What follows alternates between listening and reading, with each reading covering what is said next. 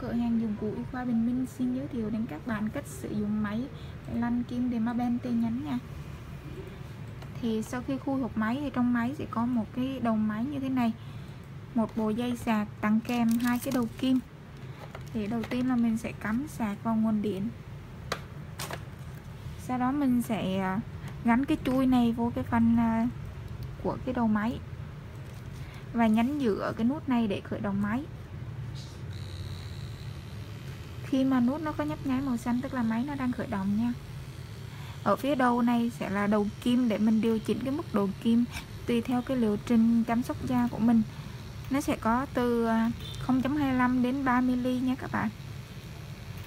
Ở đây mình đang điều chỉnh cái mức độ kim là 2 mm thì cái số 2 nó tương ứng với cái nốt màu trắng ở trên thanh máy này.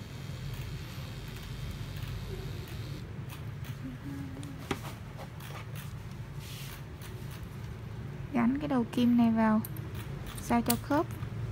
Và mình vặn qua như vậy. Đó, lúc này là máy nó đang hoạt động. Muốn tăng cái mức độ à, kim nhanh hay chậm thì các bạn nhấn giữa cái nút này nó sẽ có 5 mức độ. Càng nhánh thì cái mức độ nhanh chậm nó càng cao nha. Sau khi tắt là mình chỉ việc nhánh giữa cái nút tròn xanh này thì máy này sẽ tắt và mình tháo đầu kim ra. Thì ờ, khi kết hợp với cái máy lăn kim Dermapen này thì mình sẽ sử dụng tế bào gốc trong quá trình lăn kim. Và sau khi mình lăn kim xong, mình sẽ sử dụng lại này để tái tạo da. Nếu mà các bạn ờ, cái tạo thì mình dùng cái đầu nano là cái đầu như thế này, là không có kim.